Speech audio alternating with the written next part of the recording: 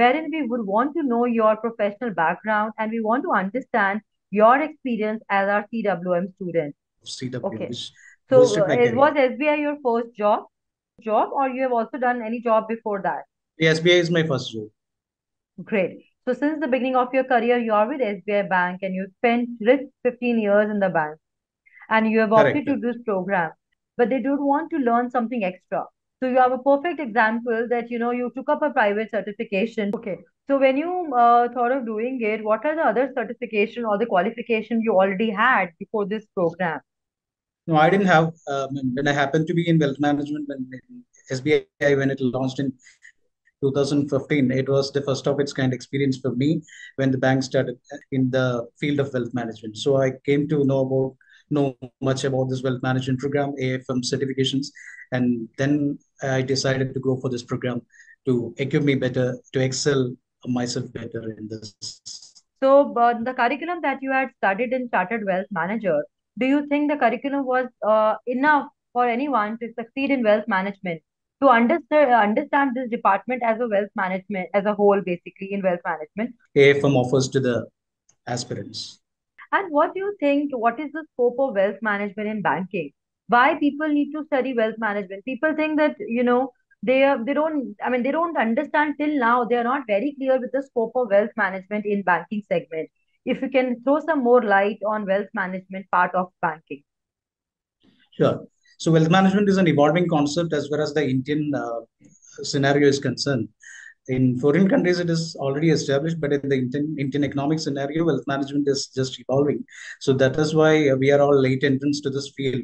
Our private sector counterparts had already entered uh, before um, the public sector enterprises came into the space. So uh, regarding the scope of this segment, uh, wealth management is you know, very much required to retain the clients of the banks because they are on very much very much on demand.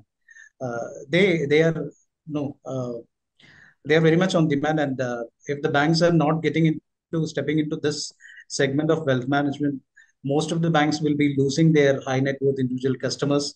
Uh, and uh, at any cost, it's imperative for the banks to retain the high, high net worth individuals and also to gain high net worth individuals to their fold. So there comes the relevance of uh, wealth management. So uh, you have made it very structured so that we can learn it at the, very uh, at, at ease in a very easy manner. The only thing is that you need to dedicate uh, some fixed fixed amount of time on a regular basis to get through. That's it. Right. And uh, uh, you know very easily because I mean the materials itself will. And what do you think once you completed this program?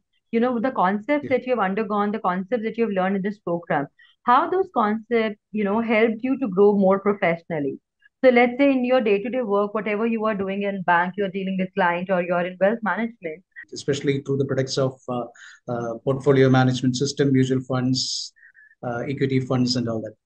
So these so were all actually prac- practically using all those in your uh, you know uh, day-to-day life? Yeah this is in fact very helpful for me.